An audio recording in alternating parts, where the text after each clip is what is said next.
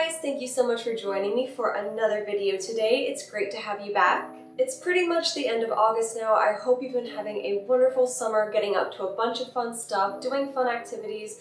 I know I've been very busy doing stuff, especially this past week. And one of the things that I've been doing is participating in Glish Week.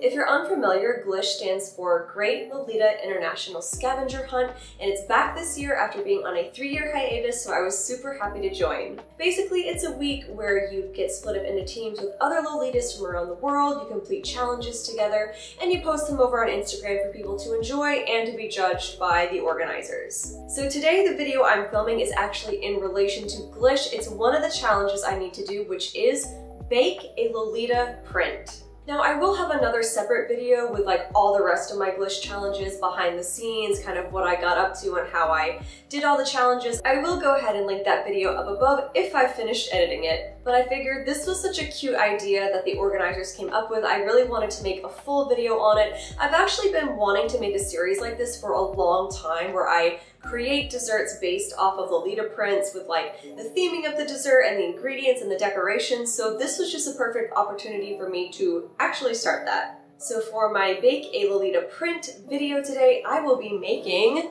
fruity lemon bars. Now I am sorry, please don't have a heart attack. I will be baking in this dress, and no, I don't have an apron. I'm prepared, but not too prepared. I did put on like a more casual top that I won't be upset if I get flour on in case that happens. So wish me luck. Let's hope I don't have to send this beauty off to the dry cleaners immediately after this, and let's go head into the kitchen. But wait, First, I just have to let you know that in case you're interested in more kawaii content like this, I do post new videos every Monday and Thursday for you guys. So if you would like to stick around for that, feel free to hit that subscribe button down below. And if you like this video while you're watching, feel free to give it a thumbs up because it really helps me out. Now let's go.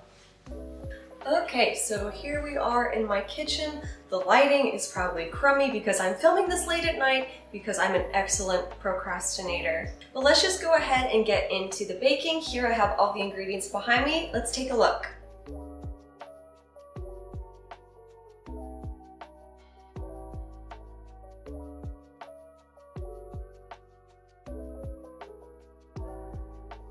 So you can see how late at night I'm filming this, 8.14. Anyway, first we're gonna want to preheat our oven to 350 degrees Fahrenheit. Now while this is preheating, let's go take care of preparing our ingredients. Now I'm one of those people that likes to have my ingredients as prepared as possible before I start baking, so let's go ahead and start by juicing these lemons.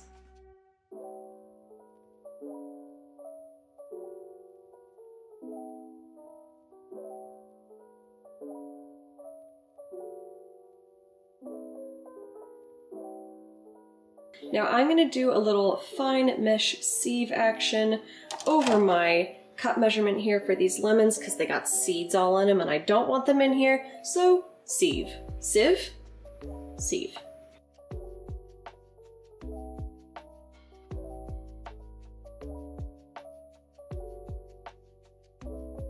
So now that we have 2 thirds a cup of freshly squeezed lemon juice, let's go ahead and start mixing the crust on the bottom.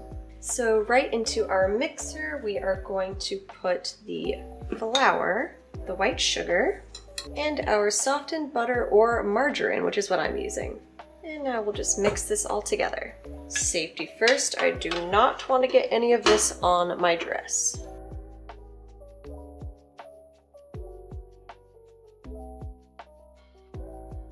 Okay, so I just mixed that up for a few more seconds.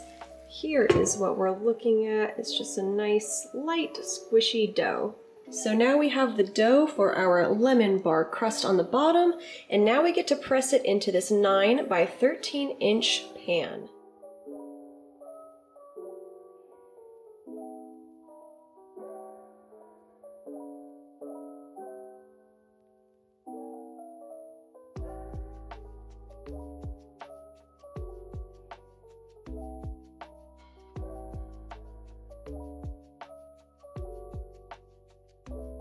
Okay, not the prettiest crust pressing job, but uh, it'll look rustic. So now that this is done preheating, we're just gonna put this in the oven for about 10 to 15 minutes.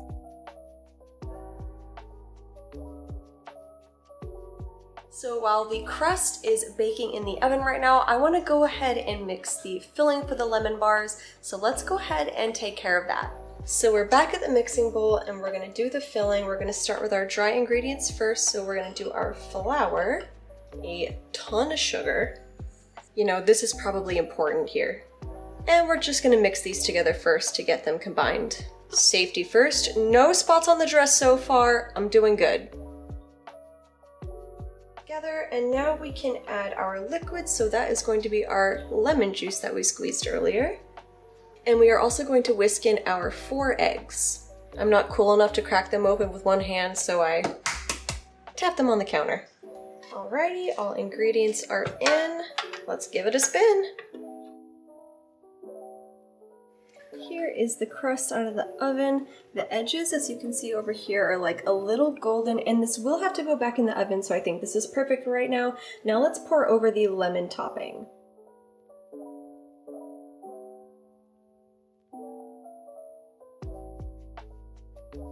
Well, it doesn't look like much other than a giant pan of scrambled eggs. But there you can see the little crust layer underneath. Hopefully that'll bake up and look really pretty when it's done. Back in the oven with you for 20 minutes.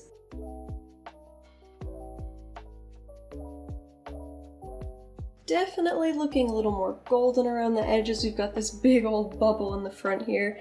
I think I'm gonna go ahead and stick this in the fridge for a few minutes just to help it cool down a little quicker. As if it wasn't late already when I started, it is definitely getting much later. It's almost 10 right now. So I'm gonna go ahead and plate the lemon squares, show you the final product, and uh, we'll see how it looks next to my fruity lemon dress.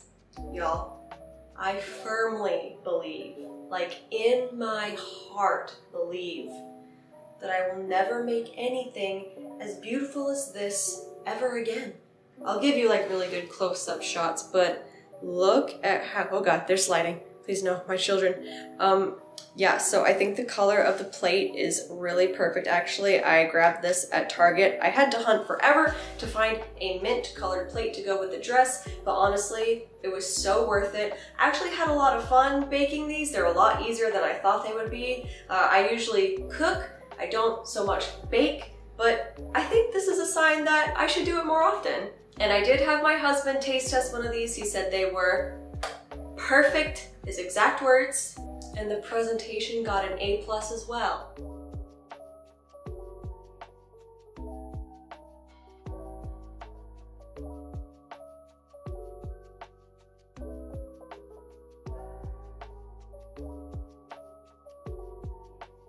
I really think this is such a fun idea. If you would also like to see me do more of these Bake a Lolita print style videos, definitely let me know down below in the comments. I've already got some ideas going. I would love to do it, but only if you guys would like that. And if you would also like to try your hand at making these lemon squares, I will link the recipe down below that I used. It's just from Allrecipes. It's very easy and straightforward. If I can do it, you can do it. Well, I've stayed up much too late making lemon bars, so I'm gonna go ahead and wrap up the video here, guys. I'm definitely gonna have to try one of these as soon as I turn the camera off. Thank you so much for joining me on my channel today. I hope you did enjoy it.